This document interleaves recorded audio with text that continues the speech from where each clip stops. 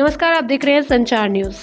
Hotel नगर परिषद की ओर से गुरुवार को पुरानी जीटी रोड पर अतिक्रमण हटाओ अभियान चलाया गया। परिषद के कर्मचारियों ने अभियान, पुलिस के सहयोग से चलाया। अभियान के दौरान परिषद के अधिकारियों ने दुकानों के आगे छत पर लगाकर वह सामान रखकर अतिक्रमण करने वाले दुकानदारों के खिलाफ कार्रवाई की।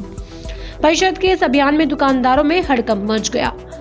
नगर परिषद की ओर से, जहाँ गुरुवार को जीटी रोड पर गोयल नर्सिंग होम से पुनहाना मोड़ तक अतिक्रमण अभियान चलाया गया। वहीं परिषद के अधिकारियों ने पुलिस को साथ लेकर पुरानी जीटी रोड पर दुकानदारों द्वारा दुकानों के आगे सामान रखकर और छप्पर लगाकर कर रहे दुकानदारों के खिलाफ कार्रवाई की और उनके चलान किए गए। परिषद के अधिकारियों का कहना है कि परिषद का यह अभियान लगातार जारी रहेगा। उन्होंने बताया कि शुक्रवार को परिषद का यह अभियान अंदर के बाजारों में चलाया जाएगा। होटल से कैलाश मंगला की ये खास रिपोर्ट।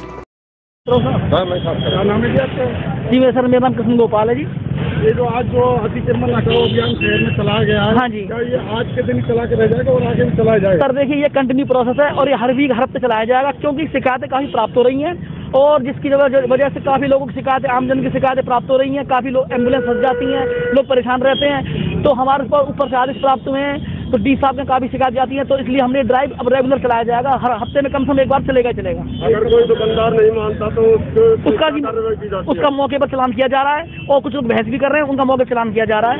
नगर परिषद की ओर से कितने लोगों को चलान किया जी लगभग पंद्रह चलान चलान तो हमने कर दिए हैं और अभी ये करते रहेंगे आगे तक। चालान की राशि कितनी है? कि की राशि पाँच सौ रुपये से स्टार्ट होती है और आगे तक जाती है। और अगर मान लो पहली बार में दुकानदार पहले चालान में नहीं मानता तो दोबारा क्या कार्रवाई करी जाएगी उसका चालान जी कोर्ट में पेश किया जाएगा उसे कुछ कोर्ट संबंध आकर उसे बुलाया जाएगा।